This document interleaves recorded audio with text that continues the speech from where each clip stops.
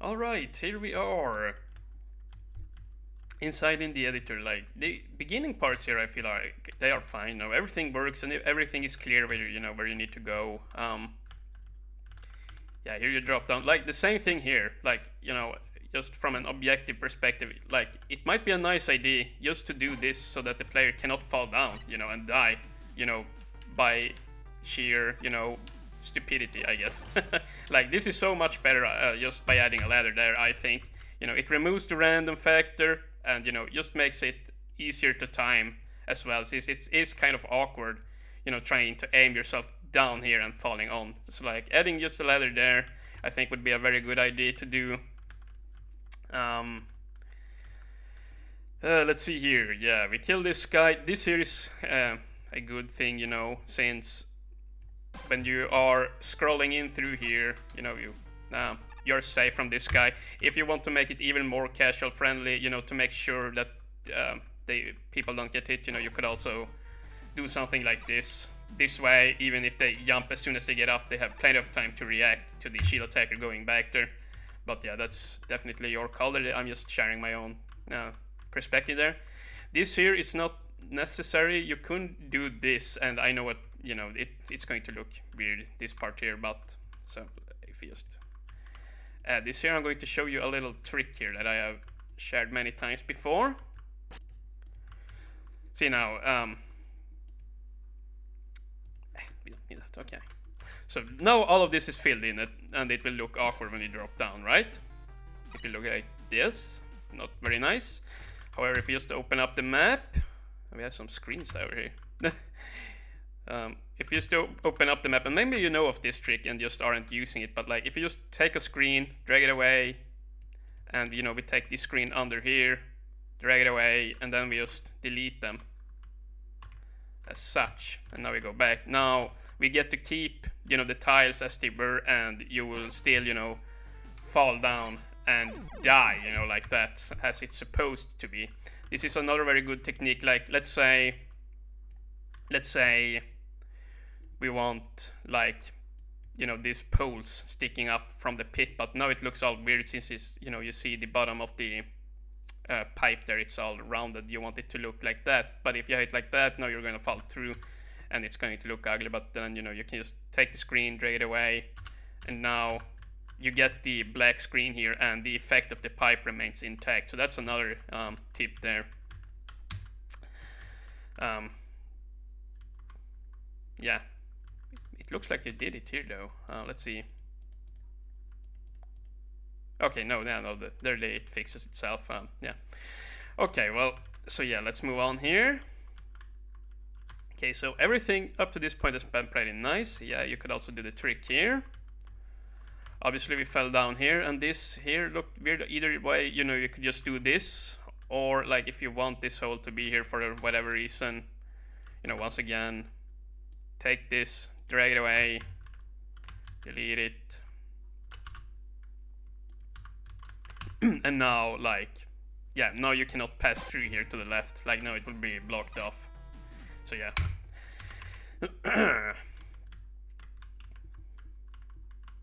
yeah. Yeah, I don't know. Okay, so here we have a pit. Um, yeah, and like, as you can see, like, let me just, I'm just going to look on your thread on the Mega Man Maker forums. Um, um, let's see what you wrote. Submerged castle. My goal with each stage is to make sure everything felt like an actual Mega Man level. Um, yeah, like your stage is nicely built, but um, I would not say it feels like a traditional Mega Man level. Um, in the sense that it actually has more pits than a traditional Mega Man uh, level. It actually does have more pits, I would say. Um, the pit count and the spike count is very high. Um, like yeah like i would even i would probably if if it was me i would probably oops i would probably not um, you know have the spikes here for example i just feel like you know, it just increases the likeliness of death by a lot. Like, uh, I don't know. Even even like this, it probably is pretty hard for a casual to get through it. You know, timing it right. Um,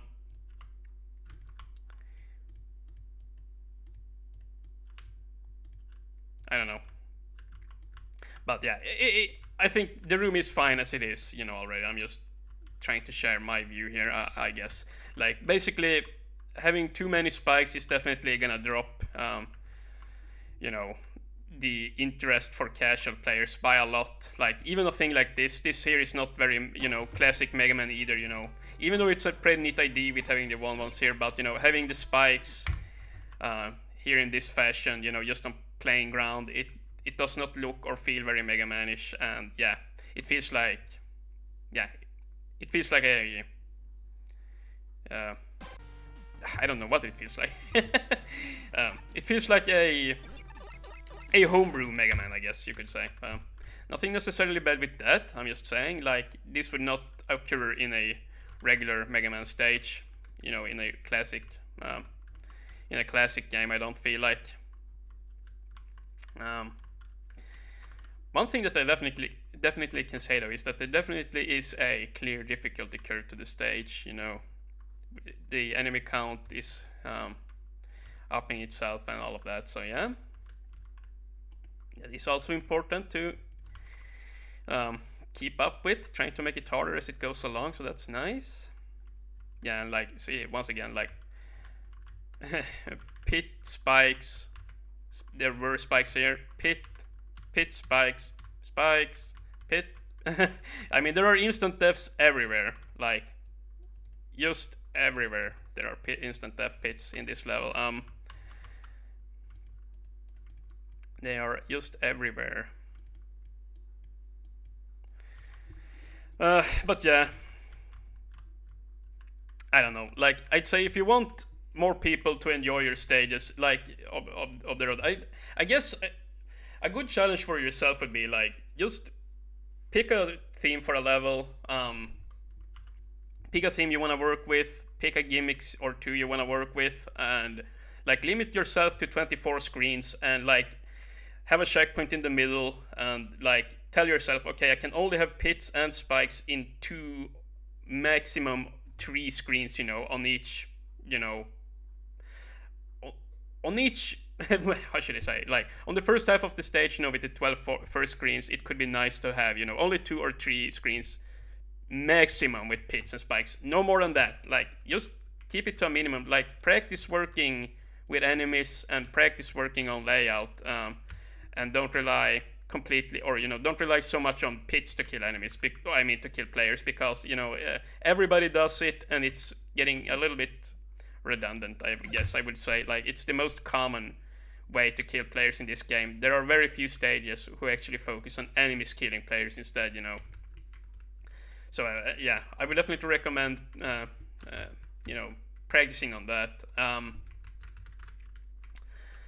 let's see here. Um, yeah, this was a pretty neat fight here, although I would not have this here being open, like, because, yeah, like, what is the point of going here if you're just going to have to backtrack all the way out over here again. Like if you go here, you cannot. Well, you actually. Okay, never mind. That's my bad. You can actually, you can actually get the attack here. That's all the crash is for. You're supposed to go down here to, to progress with the stage. But yeah, like this here was an issue because I thought this was a pit, right? Um, which you need to convey the player. You know, okay, you're supposed to go down here.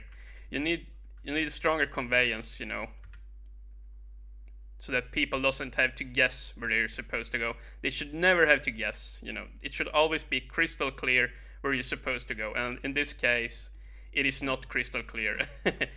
not clear at all. Um, let's just this does not look very pretty the way I did it here now, but uh, it, this is more than anything, you know, just to um, show how it could have been done. Like, if you do it like this, you know, the people see, okay, there is the crash bomb there, I, I can't get through, so, yeah, you know, either they can just go down here, or they can go down, you know, they can go backwards and see if they missed anything. Like no harm, no foul, um, and like you know it.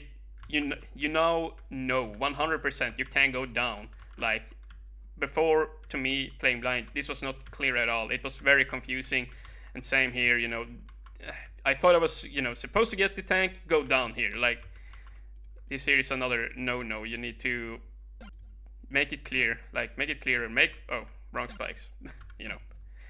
You need to make it clear at all times. Not that player comes in here, they see at once, okay, uh, I'm not supposed to drop down because obviously I die if I do. Like, either that or if you, even if you don't want to have spikes there, you know, you can make it more casual, friendly, you know. Have, just have one once there, you know, just something. Um, but just make sure that the player doesn't go down and die and get frustrated and you know leave your level and give you a thumbs down. That's what you want to avoid here. Um, yeah, and see here, this is what happened here. Okay. Yeah, and also try and not have you know your screens overlapping each other like this. Um, yeah, because it really messes with the player on this screen. But yeah, whatever. Um, basically, what I'm just the main the main point here is you know just try and you need you need to convey the player where they are indeed supposed to go. It needs to be crystal clear. Um, yeah, but like overall a nice level of the road. Um, overall a very nice level. Um, it just needs stronger conveyance where you're supposed to go. I would suggest that you sharply decrease the amount of spikes because you use very many of them, like they are everywhere. Um, way more than in classical levels, you know, they are just everywhere. Nothing wrong with that necessarily, but I'm just saying if you want to make levels, you know, on a more casual, you know, level, it might be a good idea for you to just decrease uh, the spikes and pits. You have so many of them. Um, yeah, I'm just sitting here and clicking around. I'm not necessarily trying. Yeah, I'm just I'm just fidgeting around while I'm talking. I hope you don't mind. Um, but yeah, um, try decrease pits. Try to decrease the total amount of spikes. Make stages where you basically practice on, you know, only have a few rooms of pits and spikes and focus on having the enemy killing the player instead to and in order to you know adjust you know the difficulty. If you if you're not going to have as many spikes and pits then there should be more screens in between each checkpoint you know to balance it out.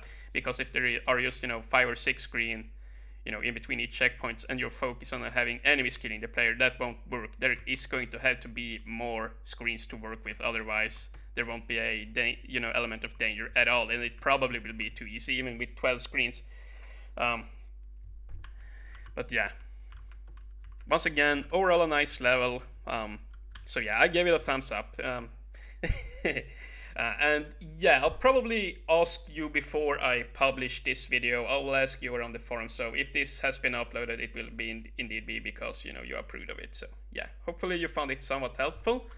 Hopefully I could shed some uh, nice or you know helpful information there. But yeah, overall nice level. A little bit on the harder side, not too casual friendly and yeah um, once again I did not it, it did not really feel like a classic Mega Man stage to me um, too many spikes too many pits too many yeah too many you know the gimmick sections are very very hectic um, way more so than in you know the classic Mega Man stages like with the exception of perhaps Quickman's stage in Mega Man 2, but yeah.